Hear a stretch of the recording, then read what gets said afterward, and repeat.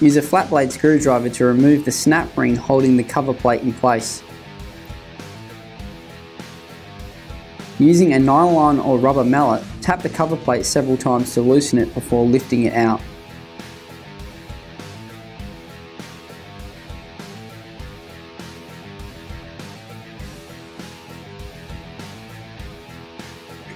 A flat blade screwdriver can then be used to remove the snap ring on the top of the basket.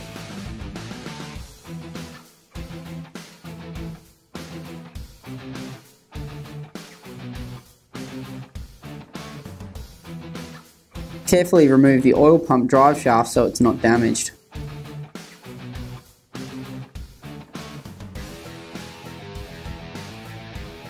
Using circlip pliers, remove the snap ring on the top of the input shaft.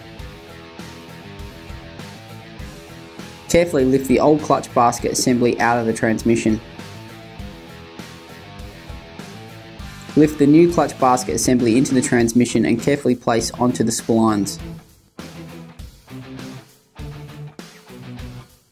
A flat blade screwdriver can then be used to remove the top of the basket on the new clutch.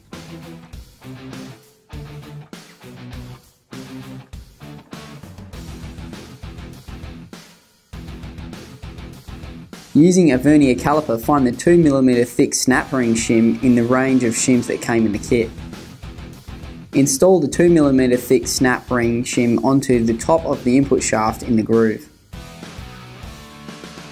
Set up a dial indicator on the end of the input shaft and set it to zero. Using both hands, lift the clutch basket up and down to check end float in the input shaft.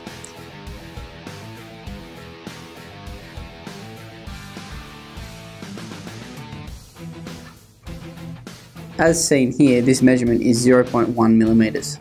Note this number down. Set the dial indicator up on the top of the clutch basket and set it to zero.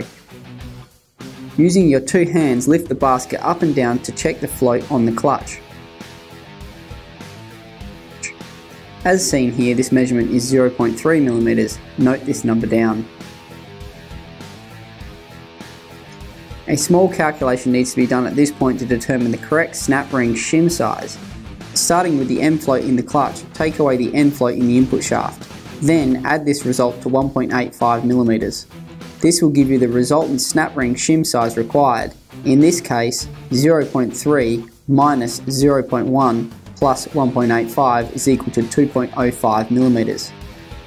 Find the closest required snap ring shim size in the pack supplied using the vernier calipers. Remove the 2mm shim and install the correct snap ring shim on the end of the input shaft. Reinstall the oil pump drive shaft. Install the special dual clutch installation tool between the clutch and bell housing to hold the clutch basket in the raised up position.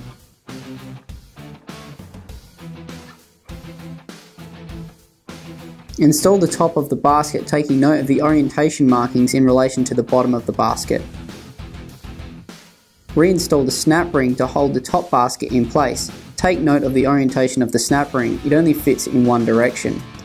Ensure the ring is seated right in place.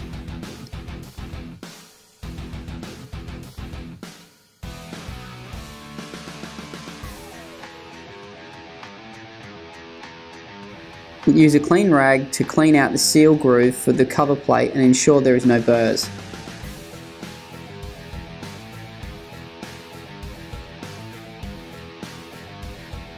Place the cover plate carefully over the input shaft and lightly tap into place.